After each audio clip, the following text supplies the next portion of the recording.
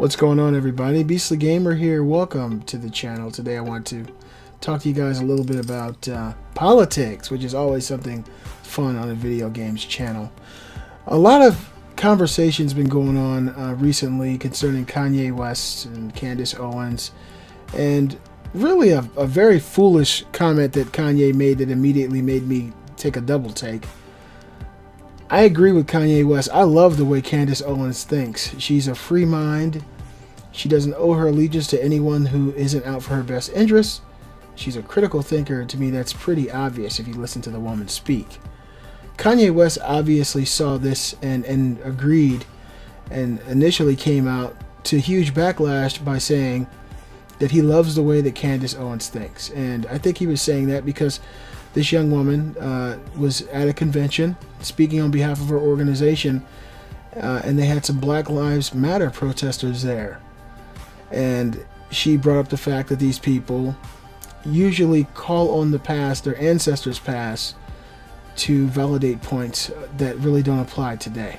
She was saying that, you know, you guys are bringing up 400 years of slavery or Jim Crow, which none of you lived through, which is a fact. It's a fact. My grand, my great grandmother was a slave, uh, and so it's something that she lived through. My great grandfather was a slave. My grandma used to tell me about, you know, picking cotton and all these things. So you know, I've, I've heard the, the tales as a young kid. I used to listen to my grandmother, Abby, speak and, and tell me about that life.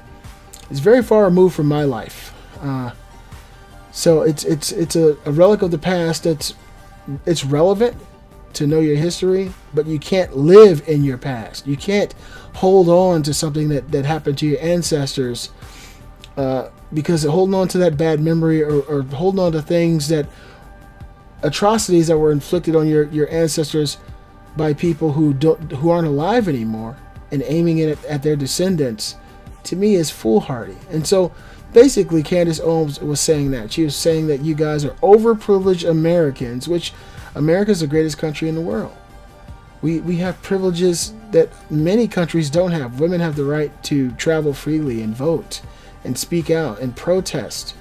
You know, if you go to the Middle East, that's unheard of. Uh, you know, there are trans rights, there there's gay rights, there's you know minority rights, there's you know there, there are sanctuary cities, places that are crazy, but this is the freest place. So to live here and to constantly be in a state of anguish, I won't say denial, but maybe it is denial because you're deny, denying the actual reality of your situation and living in the past, is what she's saying. Uh, a victim mentality. And um, I think it's true. It's something I've been saying for a long time that, you know, my brothers and sisters talk about the past like they lived it instead of thinking about their tomorrow and, and thinking about their future. And, and instead of aiming your hatred towards someone with a different skin color, focus your determination on a positive outcome for yourself. You know, I had a conversation with a guy at work today, and we were talking. You know, it's a white guy. I was talking to him. You know, we were talking. He was telling me about where he grew up, and I told him where I grew up.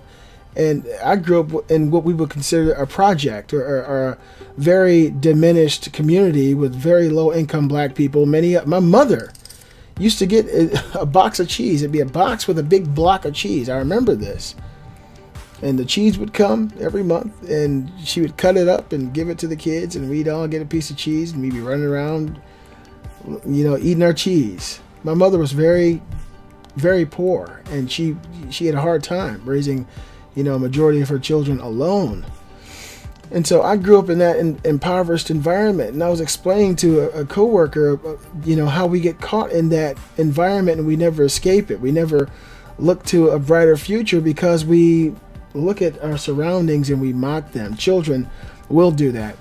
Uh, you know, if you see a mother with five or six kids who's being taken care of by the government, and they're feeding her and feeding all her kids, and they're going and buying crab legs and eating good, and you're looking at that, and you're a young lady, and you say, Who's paying the bills? And you find out from this woman, which I'm telling you from my own experience. You know, I've, I've talked to many people in the hood who live this kind of life. The government pays their bills. You know, they get WIC, they get child support, they, they, they get welfare, they get a free house. And, and their children grow up and they see that as a means of survival. And so they grow up and emulate that. And those children grow up and emulate it.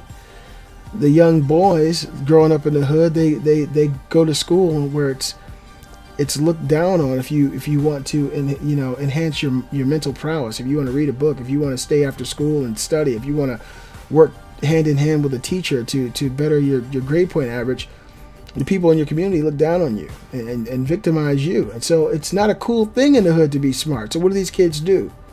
They grow up and they idolize basketball players. They idolize football players. They idolize musicians rappers on TV with pockets full of money talking about gang shit when all they do is sit in the studio and write rhymes. So it is a trap for, for many, many of these people. You know, be it looking back in the past looking at slavery, looking at Jim Crow, looking at the atrocities that did happen and on some level still affect us today. And so, so I'm not saying it. I don't think that Candace Owens is saying to completely ignore the prospect of negativity and racism coming your way because that'll always happen. I think that what Candace Owens was saying is to be proactive. You have the the biggest chance that we've ever had as black people in America is right now. We have more rights today than we've ever had in the history of this country. When is enough going to be enough for us to say, I don't give a fuck about what happened in the past. I'm going to make my way. I'm going to work my ass off. I'm going to do what I have to do for my family. I'm going to make sure my next generation is better than this one. That's what I did. And so I think that that's what Candace Owens was talking about. I think. Let me drink it like Donald, Donald Trump. Uh, I think that's what Candace Owens is getting around to. Uh, removing ourselves from um, a victim mentality an oppressed mentality and moving forward with a, a new ideal of our future, being proactive and active and looking at the next generation and, and laying out a, a, groundwork for their success versus teaching them that we're we are victimized, that there's institutional racism, that no matter where you go, you're going to be treated wrong. It's not true. Some places you might. Some some instances you're going to run into people who have their own problems who will treat you differently based on the way you look, but it's just not the way it is everywhere you go. So it's different. I think you should teach your children there are going to be people out there who are assholes, but those are the ones you stay away from. You work around the people who are going to treat you fairly. You look for those people. You look for like-minded individuals, and you and you move in that direction. But Kanye West, you know, he he he did speak out on this, and, and I agree with him about um, you know Candace Owens and, and the way she thinks. But Kanye West also came out and said something afterwards, which is his, his harebrained. And I know Kanye West, he wants to think that he's a genius, but if you're a genius, you don't have to say it. If you're a genius, the people around you will say that you are a genius. It's like if you're a good person, you don't have to tell everybody you know, I'm really a good person.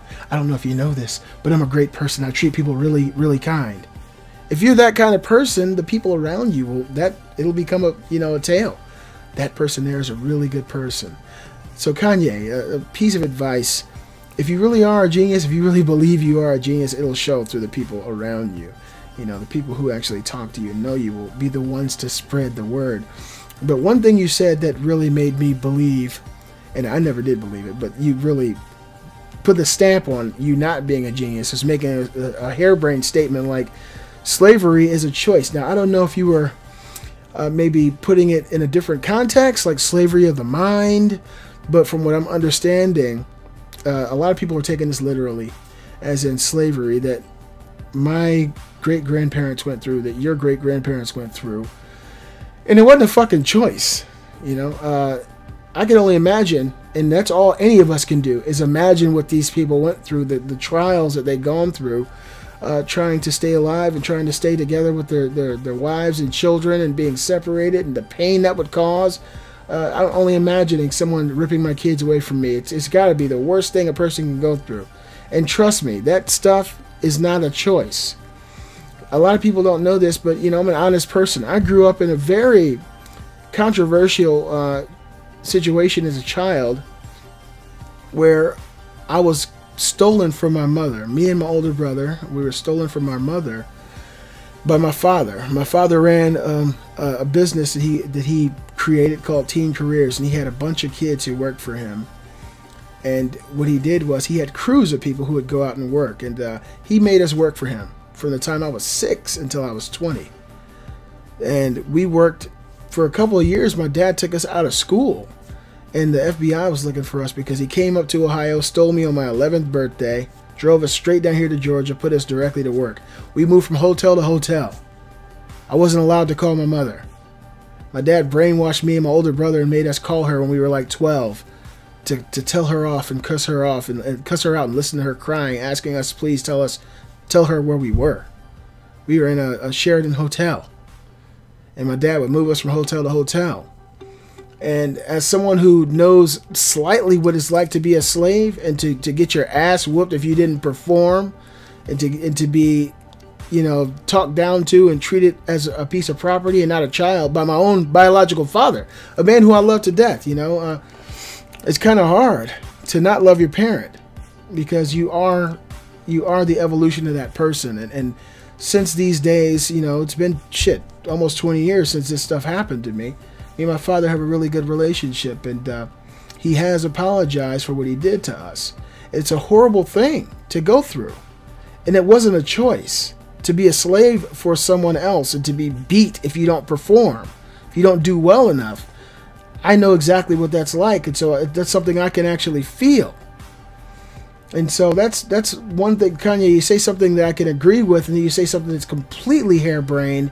Makes me wonder if you even knew what you were talking about when you said the part that I agree with. Because to me, one is so common sense, the other is just completely out of nowhere, you know. And so that's my thoughts on it. Uh, I'm an honest guy. I've always been. I try to be honest with everyone. and I don't live the kind of life that I feel like I have to ever lie about. I'm a Republican black guy living in America in probably the most liberal time in American history. Um, it's not a, a, an easy thing for me to even say around people that I don't agree with the, the liberal agenda. I think it's toxic. I think that there's a war on masculinity. I think that you know, there's so many issues going on beneath the scenes and everybody's focusing on you know this person's rights and that person's rights and illegal uh, immigrants' rights and I feel like the, the people of this country are being trampled on. Our rights are being taken away, and at least being they're trying to take them away. And so, yeah, me being a black guy, talking to my family, talking to my friends, to be a person who voted for Donald Trump, it a lot of people don't like it. A lot of people don't understand it. And to those people, hey, I understand where you're coming from. I'm able to have a conversation. I do a podcast with guys who all would have voted for Hillary Clinton. I think at least one of them, I think, did. Of course, Gary can't. He's in the UK. But me being the black guy is what the stereotypical person would expect to be a staunch Democrat. But I understand the Democrats were the founding party of the KKK. The Democrats have been the party of poor black communities. Look at Chicago under Democratic leadership. The president of the last eight years is from there. These people don't seem to care about the people of this country. It's all identity politics. It's all this person, this group, this, you know, trans rights, these these immigrants, these black people. It's not the individual anymore. It's all identity politics. And unfortunately, a huge demographic of the country has fallen hook, line, and sinker for it. I don't apologize for my thoughts. I respect you for yours. I hope you guys are enjoying your week. It's the weekend. Let's play some video games. I'm the Beastly Gamer. You guys let me know what you think in the comments below about this little commentary. Uh, you know, and I'm sure that I'll get a lot of flack, like Kanye did for being the guy on the other side. I'm not the stereotype, so it, it can be you know off-putting to some people. When people immediately see me, they think I, I voted for Hillary Clinton. Why? Because I'm black. That's really the God's honest truth. Because black people have been conditioned and taught to believe we have to be Democrats, even though they do nothing for us as a community. You guys let me know what you think in the comments. I really appreciate appreciate you guys hanging out with me. I'm the Beastly Gamer. I'll see you guys next time.